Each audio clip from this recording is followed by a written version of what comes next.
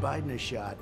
But uh, the Democrats are not. It's it's not just him. It's a party. It's a platform. Take a look at the platform. Look at the governor of Virginia. Look at what he did. He did an execution after. You know, normally they talk about late term. His wasn't late term. His was the baby was born, and then you can execute the baby. That's the Democrats, and that's Biden. President Donald Trump speaking about abortion and the 2020 election today with EWTN's own Raymond Arroyo, host of The World Over. Good evening and thanks for joining us tonight. I'm Tracy Sabol. In a wide ranging interview, managing editor and host of The World Over, Raymond Arroyo talks with President Donald Trump about some of the biggest issues facing our nation. Raymond Arroyo joins me now with the preview. Raymond, so good to see you. Thanks so much for coming on. Pleasure to see you, Tracy. Thank you for having me. Well, Raymond, as we both know, it's been a very turbulent time with the protests and civil unrest and, of course, the pandemic. When you talked to the president, did you see something especially important that seemed to be on his mind? Well, he's very focused on the disunity he's seeing in the country, the destruction of private property. So, safety is one big issue, I think, for him. The other part, and it's a key plank that he ran on and I think was so important to him as a, as a president, is the state of this economy. And because of the pandemic and the shutdowns, it's obviously put a lot of industry and businesses in the cooler. He's hoping to revive them and our prospects economically moving into this fourth quarter. That seems to be where his eye is, uh, despite the diversity of policies and issues before him. Well, Raymond, as you know, the country is waiting for a Supreme Court decision on abortion. Mm. Did the pro life cause come up in your conversation? It did indeed. I asked him, Tracy, there's a lot of chatter in the evangelical and Catholic world try, attempting to expand the meaning of the word pro life. What does it mean to be pro life? And, uh, you know, look, this goes back to the old seamless garment uh, argument that Cardinal Bernardin put forward 30 or 40 years ago, where all of these issues are pro life. Everything is pro life.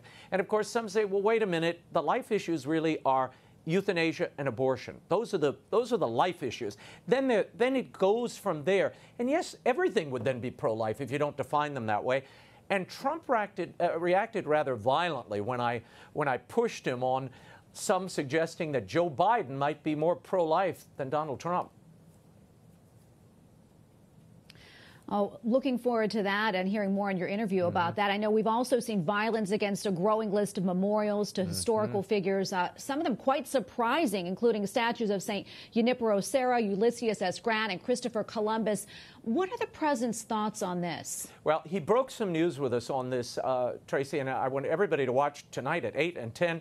Uh, he will speak about a new initiative that he plans to undertake to protect these statues. It's the first time he's talked about it, and obviously it is a deep wound for so many people across the country watching heroes like Junipero Serra, who actually taught loved and nurtured the indigenous people in California, built the missions. Uh, uh, General Grant, who brought an end to the Civil War, they're ripping his monument down.